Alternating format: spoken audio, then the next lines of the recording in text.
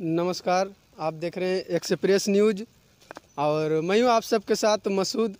इस वक्त मैं मौजूद हूँ महागामा विधानसभा क्षेत्र के दिग्गी पंचायत के प्लस टू हाई स्कूल में। आइए, यहाँ पर क्या क्या कमियाँ हैं और क्या क्या स्टूडेंट के लिए सुविधाएँ हैं, ये सब चीज़ों के लिए बात करेंगे। यहाँ यहाँ पर मौजूद कुछ शिक्षकगण हैं, इनसे बात करेंगे। तो आप देख सकते हैं, ये स्कूल जो है, ये श्री दिग्गी स्वरनाथ राजकीकृत प्लस टू उच्च विद्यालय पहाड़पुर दिग्गी, जिला गोड्डा, झारखंड। इक्यासी इकतालीस साठ, स्थापित, जो, सौ इक्यावन है। तो यहाँ पर हमारे साथ कुछ शिक्षकगण मौजूद हैं, इनसे हम लोग बात करेंगे। सबसे पहले मैं आपसे बात करना चाहूँगा। सर आपका नाम क्या हुआ? सर मेरा नाम प्रदीप कुमार हुआ सर। हम हिस्ट्री और सिविक्स का टीचर हैं। जी। अच्छा और हमारे साथ एक टीचर है इनसे बात करेंगे। सर आपका नाम क्या हुआ?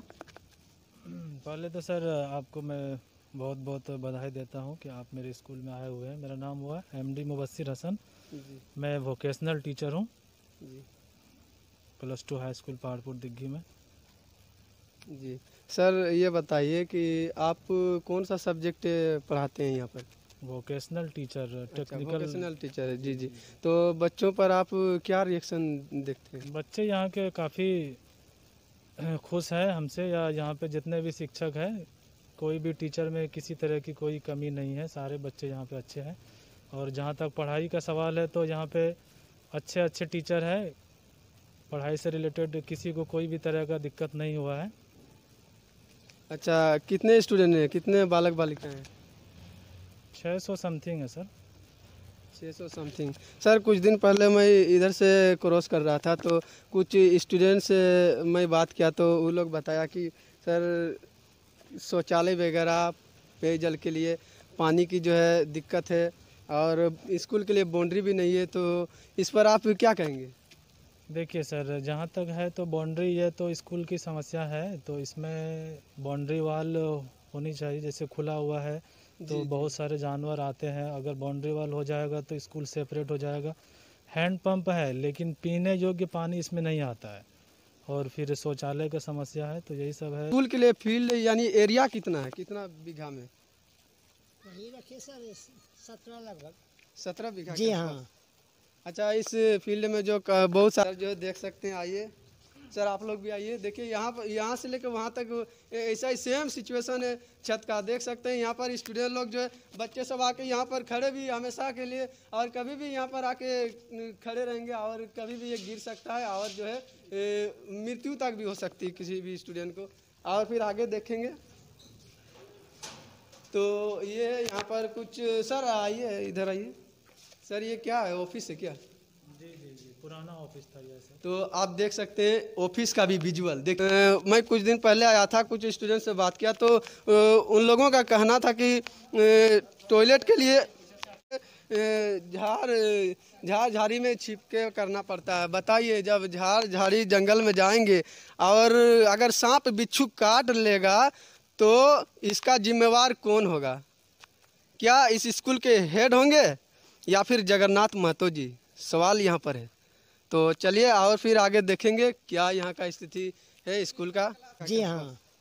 अच्छा इस फ़ील्ड में जो बहुत सारे पेड़ देख रहे हैं वो जो है आम के वृक्ष हैं तो ये आम जो आम के सीज़न में आम होता है तो ये कहाँ जाता है स्कूल में पैसा होता है जमा होता है। क्या सर कहाँ जाता है? ये स्कूल के फंड में है बगीचा जो है ना आम का। अच्छा। हाँ विकास फंड में जमा होता है पैसा इनका। अच्छा स्कूल में जो एक यहाँ पर सवाल है जैसे इतने सारे कितने पेड़ होंगे? आम कितने पेड़ होंगे यहाँ पर? यहाँ पे तो काफ़ी सारा पेड़ है सर। देखा जाए तो सत्तर के अप्रॉक्स आगे ही होगा। अस्सी। अस्सी के आसपास आम के पेड़ है लेकिन एक शौचालय नहीं बन पा रहा इस पर आप क्या कहेंगे? सर देखिए ये शौचालय की कमी है। हम लोगों को भी महसूस होता है कि यहाँ पे शौचालय रहेंगे तो उस आइए आपको मैं दिखाने ले चलता हूँ। इस दिग्गी प्लस टू हाई स्कूल पर जो है शौचालय की जो मैं बात कर रहा था कि शौचालय नहीं है तो आप देख सकते हैं यहाँ पर शौचालय बिल्कुल जो है जर्जर स्थिति में है। आप देख सकते हैं, शौचालय जो है बिल्कुल जो है दिखाने लायक ही नहीं है, लेकिन फिर भी मैं दिखा रहा हूँ, देख सकते हैं आप जो है शौचालय की क्या स्थिति है। लेकिन इस पर सवाल उठता है, जगन्नाथ महतो जी जो है 200 250 स्कूल खोलने की बात करते हैं, लेकिन यहाँ पर वर्तमान में जो स्कूल है, इन पर जो है फोकस करना चाहिए और स्टूडेंट के लिए सारी जो है मांगे, ये सब जो है पूरी करनी चाहिए।